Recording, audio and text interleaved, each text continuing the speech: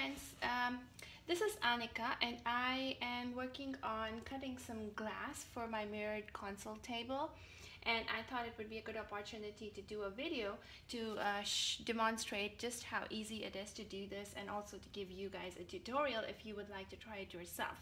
It really is super simple and the only tool that you really need to do this is this diamond scribe and I will have a link for this uh, in my blog post. And the other things that you need for it is, of course, safety. Um, we need uh, safety glasses and, of course, a dust mask because you do not want to be inhaling all the glass dust over here.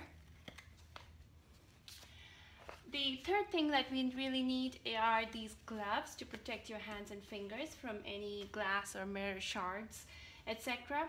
So so right now to start off with I'm not going to be wearing the gloves because I get a better grip and more control of the scribe without the gloves. But when I actually go in and pick it up I will be uh, wearing the gloves. So to start with on my mirror here on the back of my mirror I have a line that uh, where I need to cut it. So to start I am going to place a straight edge on it Oh, and the other important thing is to make sure that your work surface is completely clean. So every time you go to cut a piece of mirror or glass, you have to wipe it down very nicely. So let's start. I am going to place my straight edge right here where I need to cut it. Hold it steady. Now I'm, on, I'm using a 1 by 2 as my straight edge because I found that it gives me better control and more uh, and I'm able to hold it more steady. I was trying to use rulers earlier and they were just not staying steady and also uh, they tend to get damaged with the diamond scribe more easily if you happen to you know uh, move your hand etc. So let's start. Keep it steady and here we go.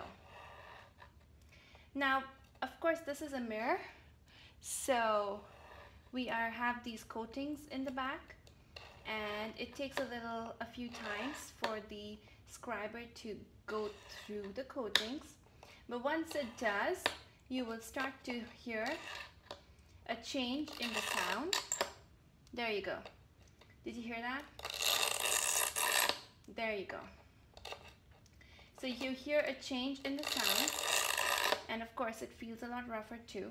Now this is a 1 8 inch thick mirror and I have found that about 30 times uh, going over it is good enough to give it a clean clean break. So let's do this. One, two, three, four, five. Oops, see? Be careful, don't move it. Six. Now, another important thing is that you have to make sure that you go towards all these corners, both these corners, because if you don't go all the way to the ends, then your break will not be clean.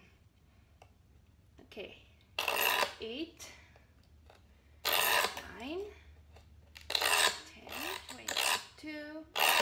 23, 24. Now the pressure I have is uh, really steady. I'm not putting too much pressure on it, but it's a really steady, firm pressure. 25, 26, 27, 28, 29, 30. Okay. Now, put your gloves on.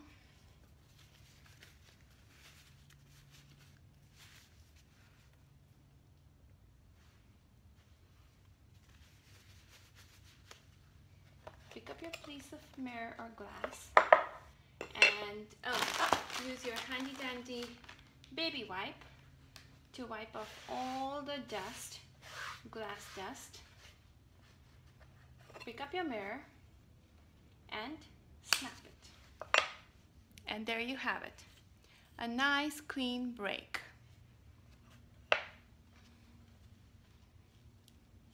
Oh, and let me show you, since we're talking about uh, cleaving mirrors.